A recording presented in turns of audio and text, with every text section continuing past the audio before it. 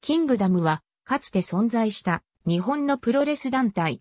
現在は格闘技団体、キングダムエルガイツとして活動している。代表には元 UWF インターナショナル取締役の鈴木健が就任。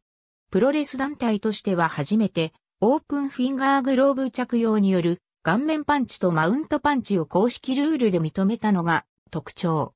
招聘する外国人選手もプロレスラー、ブラジリアン柔術、ルタリーブリといった総合格闘技の選手が主となった。これは UFC の登場により人気と注目を集めていたバーリトゥードの影響を強く受けたもの。1997年5月4日、国立代々木競技場第2体育館で旗揚げ戦を開催。田村清氏を除く U インターのほとんどの選手の受け皿となり U インターの系譜を引き継いだ。しかし肝心の工業の目玉となる U インターのエースだった高田信彦は正式には参加せず、エキシビションでの登場とテレビ放送での解説で、かつての仲間をサポートするにとどまった。高田が参加しなかったのは、ヒクソン・グレーシーとの対戦の準備に専念することと、潰れた U インターの選手で再発足することに疑問を感じたことと U インターで工業の運営にタッチすることに懲りたことなどを理由に挙げている。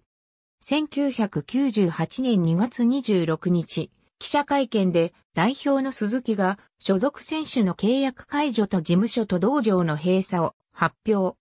元所属選手の佐野雄飛、桜庭和志、松井大二郎、豊永実は高田が1月30日に設立した高田道場、柿源賢人と高山義弘は全日本プロレス、金原博光と山本健一はリングスに移籍。安城洋二はフリーとして活動。キングダムの名称は練習生だった入江秀忠が受け継いで1999年から格闘技団体キングダムエルガイツとして活動している。